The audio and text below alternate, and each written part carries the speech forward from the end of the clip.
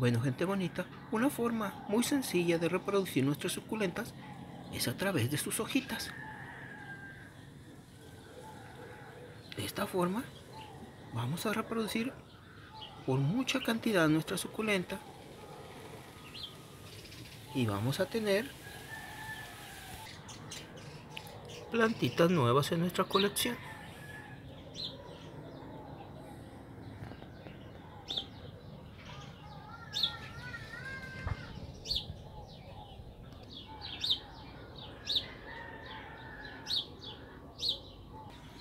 Y además al sacarle las hojitas nos ayuda mucho para que nos den nuevos hijitos como esta hermosísima chaviana.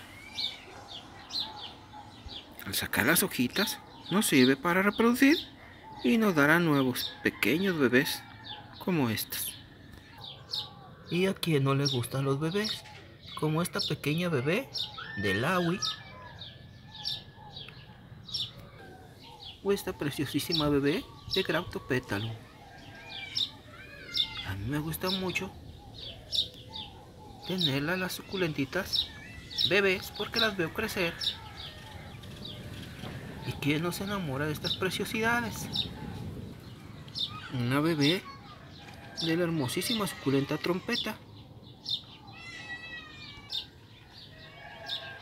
Todas tienen una belleza única pues todas son unas verdaderas hermosuras desde que son bebés. Entonces al sacar los pétalos de nuestras suculentas más grandes,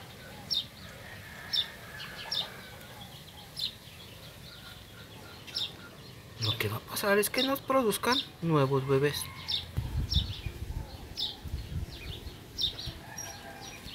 Mire este pequeño bebé, que es un bebé grandote, de nuestra hermosísima suculenta que conocemos como vestido de novia y en algunas regiones también conocido como vestido de fiesta.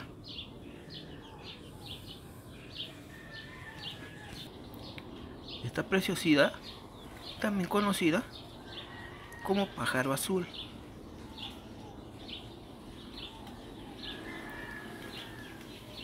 O la hermosísima telaraña. Mira, aquí la runjoni le sacamos unas hojitas para enraizar y ya nos empezó a dar nuevos brotes de bebé rulloni. En esta ocasión, esta suculenta es la que vamos a usar para sacar nuestras hojitas y enraizarlas. Lo primero es sacar sus hojitas. Se desprenden muy fácilmente.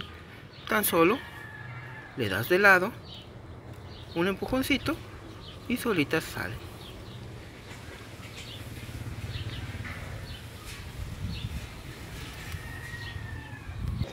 Y además vamos a aprovechar para quitarle todas esas hojitas que le pueden producir algún hongo aprovechamos para limpiarle su tallito y no le queden estas hojas secas que pueden producirle hongo. Y ya sacamos nuestras hojitas para poderlas enraizar y sacar plantitas nuevas. Vamos a aprovechar también para sacar unas hojitas de nuestra chevería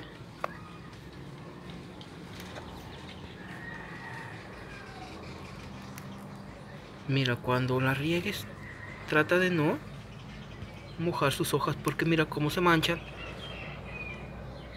Y ya no tan fácil se limpian.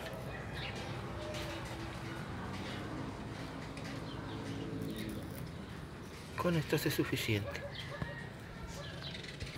Mira como puedes ver aquí tenemos muchas hojitas de distintas echeverias y de distintas suculentas enraizando esta es una forma muy fácil, muy sencilla y con una efectividad muy grande debido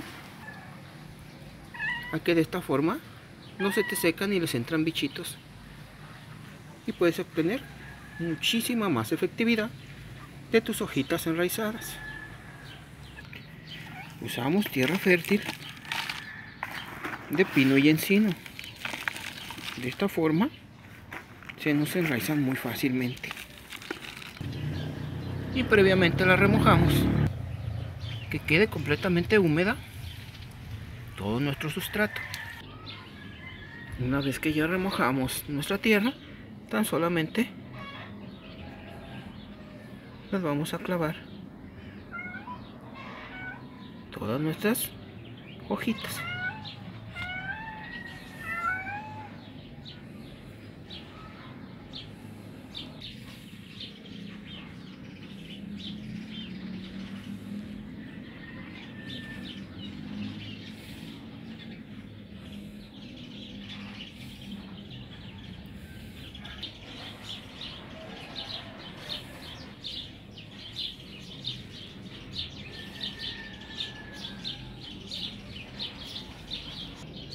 Una vez que ya las pusimos, la vamos a tapar con la bolsa para hacer un efecto invernadero y se nos más rápido. Vamos a iniciar poniéndola primero este lado y ya nomás la vamos a ir acomodando para que ajuste en toda la macetita. Muy importante, una vez que ya la pusimos, le vamos a hacer unos pequeños agujeritos para que puedan respirar nuestras plantas y no se nos pudran. Esto es muy indispensable y es muy necesario. Tan solo unos dos agujeritos por cada lado es suficiente. Una vez que hicimos los agujeritos, vamos a pasar a hacer como un pequeño globito. Y listo. Ya tu plantita ya quedó. Y ya nomás vamos a esperar a que se enraice. En el transcurso más o menos de 22 a 30 días. Y ya vamos a tener plantitas nuevas. Del príncipe negro. Y de cualquier suculenta que tú pongas a enraizar sus hojitas. Vamos a mantenerlas en un lugar donde haya suficiente sombra pero también que les entre luz solar, pero no sol directo. Como puedes ver aquí, estas ya están transpirando. Por eso es muy indispensable los agujeritos, debido a que sin los agujeritos, tus hojitas se pudrirían. Entonces esta ya le hicimos estos agujeritos y le hicimos un macetero en forma de pequeño invernadero. Ya nomás esperar a que tengas tus nuevos bebés de echeverias o de suculentas de las que tú decías. Bueno, gente linda, hasta la próxima.